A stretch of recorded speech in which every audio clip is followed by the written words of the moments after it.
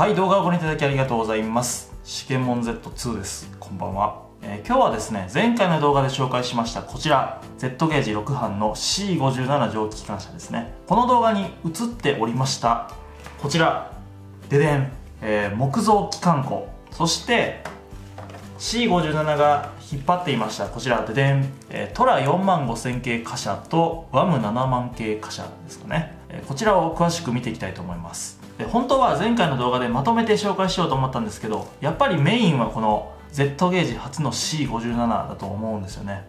だからちょっとこっちにフォーカスをしまして、今回はこのちょっとサブ的な感じになっちゃいましたけど機関庫と貨車ですね。これ見ていきたいと思います。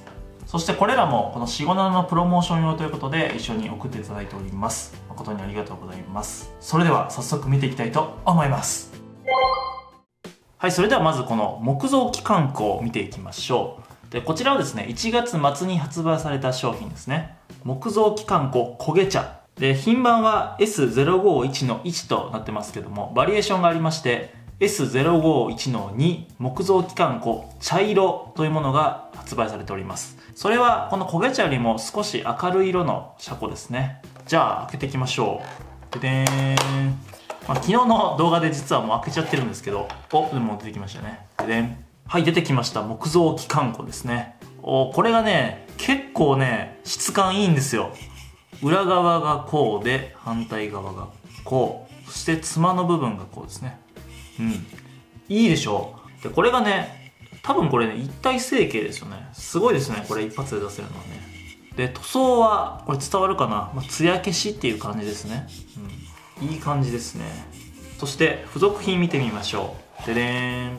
はい。このような袋が入ってまして中にははい。説明書ですね。そしてラベルが入ってますね。ラベルというかシールですね。シールが2枚入ってます。でこのシールは結構こう質感がいいですね。艶消しっていう感じ。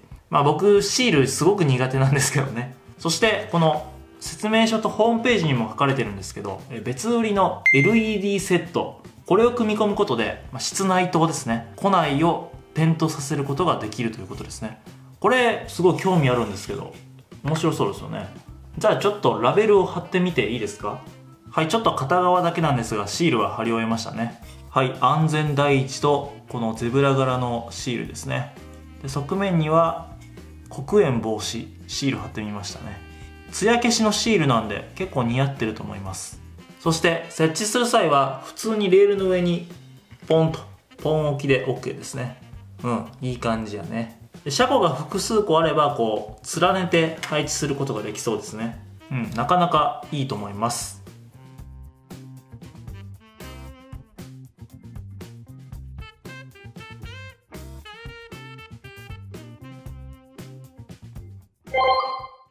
はい、じゃあ続いて貨車行きたいと思います。ででん。国鉄ワム5万系貨車でいいんですかね。B セット、そして C セットを送っていただいております。で、この B セット、C セットの違いなんですけども、貨車に印字されている車番ですね。これの違いだと思います。じゃあどんどん行きましょう。オープン。てってれー。はい。行きましょう。わ、ちっちゃいな。こう毎回びっくりするけどちっちゃい。はい、中はこうですね。わー。はい、取り出してみるとこうですね。この指先と比べても大きさ分かりますよね。裏側がこうですね。はい続いてもう一両。この車番が違うだけなんで、まあ、大きい差はないはずです。はい一応 C セットも開けてみます。でん。はい中はこうですね、うん、やっぱり車番が違うだけですかね。でこの動画で伝わりにくいですけど印字が細かいのがねやっぱすごいですね。そしてもう一両。はいこうですね。はい、じゃあ続いてこちらですね。国鉄トラ行きましょう。はい、国鉄トラ4万5000系貨車でいいんですかね。B セット。そして C セットですね。で先ほどのワムは有害者でしたけども、トラは無害者ですね。ででーん。はい、オープン。こうですね。わかるかな？おー、いいね。じゃあ出してみよう。はい、こんな感じですね。すごいちっちゃいし軽い。で、Z ゲージは N ゲージに比べてミニチュアが好きな人は本当に惹かれると思います。はい、続いて2両目。これも先ほどと一緒で車番が違うんですね。はい。じゃあトラ C セットもいきましょう。くれーん。うん、かわいい。かわいいね。で、もう1両も車番が違うんですね。はい。よこんな感じですね